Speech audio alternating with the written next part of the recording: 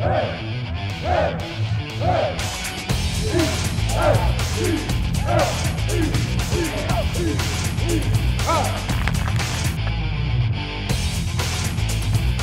expectations are sky high for us. We return a whole bunch of really good players, and so uh, we expect to win a state championship.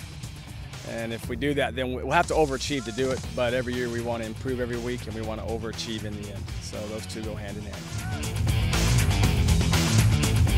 Our defense should definitely be a strength for us. We return uh, seven starters and eight or nine guys that played a lot. Uh, certainly the kicking game with Jerry Nunez, he's one of the top five kickers in the country, and that's a huge bonus and having two starting running backs that are three-year starters coming back. That's that's really helpful too. So, uh, having said all that, I think our team chemistry, their will to work, uh, their will to stress each other and stress themselves, I think that plays as big a role as anything. Well, uh, Wycliffe Fanor, uh, defensive end, has had a phenomenal start to the, to the fall, man. I mean, he's really worked hard in the offseason. He has been killing us.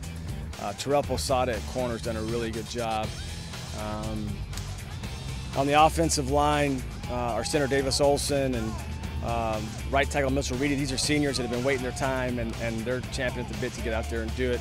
Um, actually, all those guys. We returned Chris Tremblay, and he's a three-year starter, tremendous player.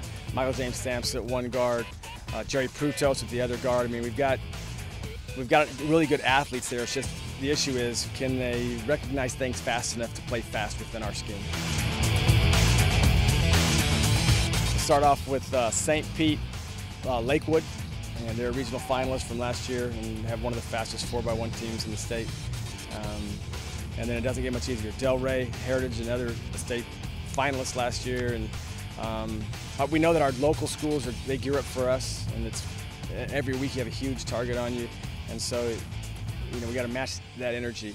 Um, South Fork late in the season, week nine, that'll be a tough matchup. And of course, we've got Island Coast as well. They were in the regional finals too last year. So um, it's as challenging a schedule as there is in Southwest Florida.